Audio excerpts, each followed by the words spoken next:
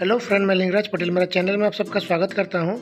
आज मैं आप सबके लिए ब्रेड से बना मिठाई की रेसिपी लेके आया हूँ, जिसको कि आप देखने के बाद यकीन ही नहीं करेंगे कि ऐसा भी मिठाई ब्रेड से बन सकता है। आज की मिठाई को हम गैस बिना जला ही बनाएँगे। तो चलिए आप आगे देखते रहिए, इसको मैं कैसे बनाऊँगा। तो फिर चलिए दोस्तों, आज की रेसिपी को बनाना स्टार्ट करते हैं। आज की मिठाई की रेसिपी को बनाने के लिए हमें सबसे पहले चाहिए ब्रेड और मैंने यहाँ पे छः ब्रेड लिया है। ये ब्रेड एकदम फ्रेश है। आप जब भी इसको बनाए, एकदम फ्रेश ब्रेड ही यूज़ करें। सबसे पहले हम ब्रेड का जो साइड का पार्ट्स है, इसको काट के अलग कर देंगे। ये देखिए, बिल्कुल इसी तरह हमें चारों साइड को काट के अलग कर देना है। और इसको काटने के बाद इसको फेंकना नहीं है। आप इसको रख के इसको मिक्सी में पीस के इसका क्रॉम्स बना के यूज़ कर सकते हैं। और ये देखिए बीच का पार्ट्स इसको हमने अच्छी तरह से काट के अलग कर लिया है। अभी हम लेंगे एक मिक्सी और मिक्सी में सारा ब्रेड को इस तरह से छोटा छोटा करके इसको डाल देंगे और इसको अच्छी तरह से पीस लेंगे। हमें इसको ज़्यादा फाइन पाउडर जैसा पीसना नहीं है। इसको एकदम हल्का सा पीसना है। ये देखिए, हमने इसको अच्छी तरह से पीस लिया है। आप देख सकते हैं, बिल्कुल इसी तरह ही हमें इसको पीसना है। अभी हम एक कटोरी लेंगे। और कटोरी में सारे पिसा हुआ ब्रेड को डाल देंगे। अभी हम उसी मिक्सी में थोड़ा सा चीनी लेंगे और इसको भी पीस लेंगे। चीनी के साथ हम डालेंगे थोड़ा सा इलायची। इसको डालने से इसमें बहुत ही अच्छा फ्लेवर आता है। ये देखिए, हमने इसको पीस लिया है। अभी हम सारा चीनी को भी इसमें डाल देंगे। चीनी को डालने के बाद अभी हम इसमें ऐड करेंगे थोड़ा सा अमूल पाउडर इसको डालने से हमारा मिठाई बहुत ही अच्छा बनेगा। ये हमने डाल दिया अमूल पाउडर और सबसे लास्ट में हम इसमें डालेंगे थोड़ा सा नारियल का बुरादा, ये देखिए, इसको डालने से हमारी मिठाई बहुत ही टेस्टी बनेगी। इन सारे चीज़ों को डालने के बाद इसको हम एक बार अच्छी तरह से हाथों से मिक्स कर लेंगे। जब ये अच्छी तरह से मिक्स हो जाएगा, इसके बाद हम इसमें ऐड करेंगे मिल्क। हमने दूध को पहले ही गर्म कर लिया था। और दूध हमें एकदम मलाई वाला चाहिए। चलिए मैं आपको दिखाता हूँ। ये देखिए, हमने एकदम मलाई वाला दूध का यूज़ किया है। आप चाहे तो सिर्फ़ मलाई भी ले सकते हैं। अभी हम सारा दूध को इसमें डाल देंगे। अभी हम इसमें बिल्कुल भी पानी का यूज़ नहीं करेंगे।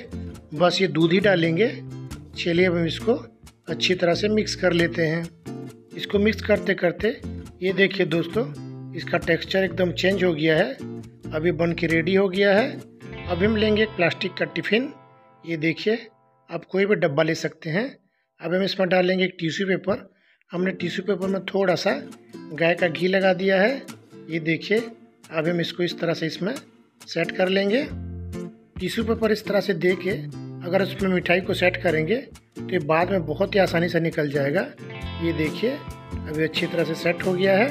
अभी हम थोड़ा थोड़ा मिक्सचर लेके इसमें डालते जाएँगे और इसको डालने के बाद इसको भी अच्छी तरह से इसमें फैला के सेट कर लेंगे। ये देखिए, बिल्कुल इसी तरह हमें इसको इसमें डालते जाना है और इसको हाथों से अच्छी तरह से दबा दबा के इसको चारों तरफ़ फैला के सेट कर लेना है। और ये देखिए, अभी अच्छी तरह से सेट हो गया है। अब हम इसको रखेंगे फ्रिज में और इसको चार से पाँच घंटा बाद खोल के देखेंगे। चार से पाँच घंटा हो गया है, अभी अच्छी तरह से सेट भी हो गया है। अब देख सकते हैं, अब हम इसको थोड़ा इस तरह से फैला देंगे।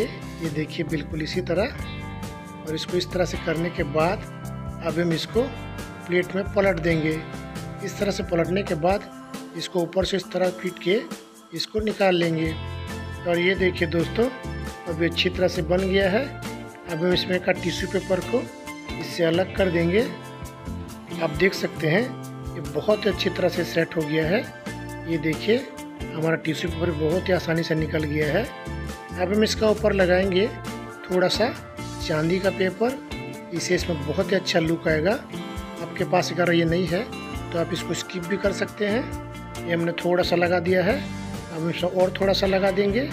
ये देखिए, अब इसमें बहुत ही अच्छा लुक आ गया है। अब हम इसका ऊपर थोड़ा सा ड्राई फ्रूट डालेंगे। ये हमने डाल दिया थोड़ा सा पिस्ता, ऊपर से डालेंगे थोड़ा सा बादाम।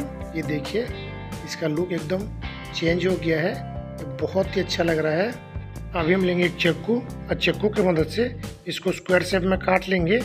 आप चाहे तो अपने मनचाह से में इसको काट सकते हैं। मैं जब इसको काट रहा हूँ, ये बहुत ही ईजीली कट जा रहा है। आप देख सकते हैं, इसका मतलब हमारा मिठाई एकदम परफेक्ट बना है। आप देख सकते हैं। दोस्तों, मैं जिस तरीके से आपको ये बना के दिखाया हूँ। मेरे बताए हुए तरीके से आप इसको एक बार घर में बना के ट्राई ज़रूर करिएगा। आपको ये बहुत पसंद आएगा। और ये देखिए दोस्तों, हमारा ब्रेड से बना मिठाई बन के रेडी हो गया है। कोई इसको देख के बोल भी नहीं सकता कि ब्रेड से बना है।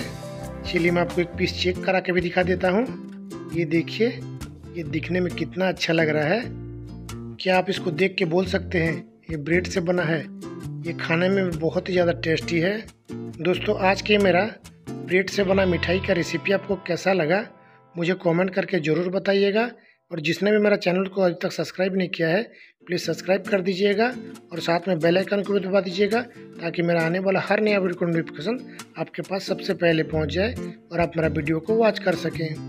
दोस्तों, फिर मिलते हैं मेरा नेक्स्ट वीडियो में और एक नया रेसिपी के साथ। Thanks for watching my video friends